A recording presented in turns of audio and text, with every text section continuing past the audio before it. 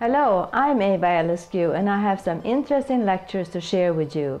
They are about the history of the dining table and our dining customs. The history of the dining table spans over 2,000 years and it is an interesting lens through which we can view Western culture.